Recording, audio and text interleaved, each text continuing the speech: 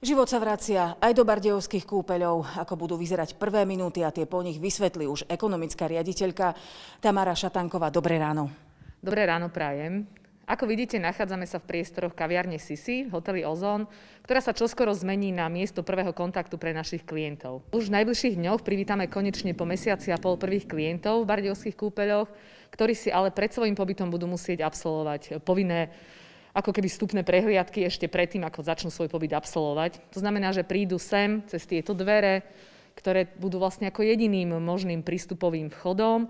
Prídu, e, samozrejme vypíšu dotazník so svojou cestovateľskou anamnézou, bude im odmeraná teplota a až následne budú poslaní na recepciu, kde sa môžu ubytovať. Pre všetkých, ktorí nastupujú v prvých turnusoch, bude zabezpečené ubytovanie v jednoposteľových izbách bez akéhokoľvek doplatku, aby sme zabránili e, nejakému možnému šíreniu sa tohto koronavírusu.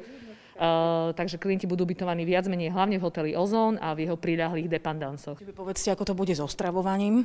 Podobne bude zabezpečené aj stravovanie, to znamená, že klienti budú sami pri stoloch, budú naozaj dodržané tie dvojmetrové odstupy minimálne a strava bude len servírovaná. Ako to bude s procedúrami? Procedúry samozrejme vzhľadom na momentálnu situáciu nebude možné podávať hromadne, budú podávané len individuálne procedúry, nebude žiaden wellness, žiadne bazény, a v rámci kúpeľného pobytu budú absolvovať e, prechádzky, budú môcť piť pitnú vodu na kolonáde, ale tá je tiež samozrejme s hygienickými opatreniami. Medzi procedúry, ktoré budú môcť klienti absolvovať, určite budú patriť masáže, budú tam patriť parafínové, rašelinové zábaly, plynové injekcie, inhalácie, my budeme ponúkať aj vodné procedúry, pretože ich máme dostatočne ošetrené, nakoľko sú individuálneho charakteru a po každom klientovi sa vždy vymieňa voda.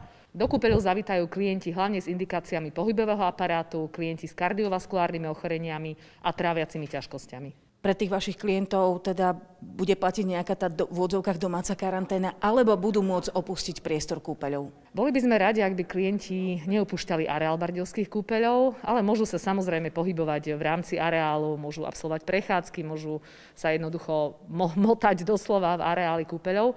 Ak budú potrebovať e, zakúpiť či už potraviny, lieky alebo iné veci, sme ochotní v tomto pomôcť. Ako to bude s personálom, teda lekári, sestry, ale aj tí ostatní ošetrovateľia? Máte ich dostatok a či ako tiež budú nasadení na viac služieb? Áno, my sme samozrejme zatiaľ neprepúšťali žiadnych zamestnancov, to znamená, že ideme v plnej zostave. Samozrejme budeme pracovať na niekoľko smien, aby sa dokázali vystriedať hlavne tí pracovníci, ktorí sú v prvom kontakte.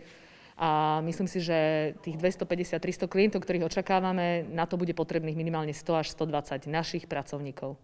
Ďakujem za rozhovor a ja už len upresním, že prví pacienti, ktorí sa vrátia do týchto kúpeľov, budú predovšetkým obyvateľia východného Slovenska.